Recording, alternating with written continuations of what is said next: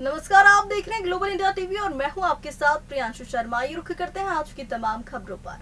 पनागर के ग्राम टगर महगवा में एक व्यक्ति के द्वारा गौवंश के साथ क्रूरतापूर्ण डंडे से मारपीट की गई है, जहाँ गौवंश को उक्त व्यक्ति के द्वारा बहरमी से पीटते हुए अधमरा कर दिया, जिसका वीडियो सोशल मीडिया पर वायरल हो रहा है। वही वीडियो वायरल होने के बाद पुलिस ने मामले को संज्ञान में लेते हुए पतासाजी करते हुए गौवंश के मालिक को ढूंढा। वही मालिक की रिपोर्ट पर पुलिस के द्वारा गौवंश के साथ बहरमी के साथ मारपीट किए जाने के चलते आरोपी मनशाराम पटेल को गिरफ़्तार करते हुए विभिन्न धाराओं के तहत मामला दर्ज कर कार्रवाई की गई है।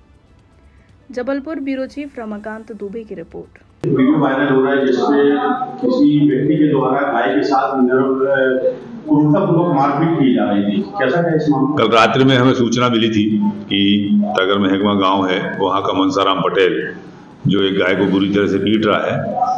वीडियो देखने के बाद हमने तत्काल उस पर गाय के जो मालिक हैं उन्हें रिपोर्ट की और उस पर तत्काल कायमी की गई।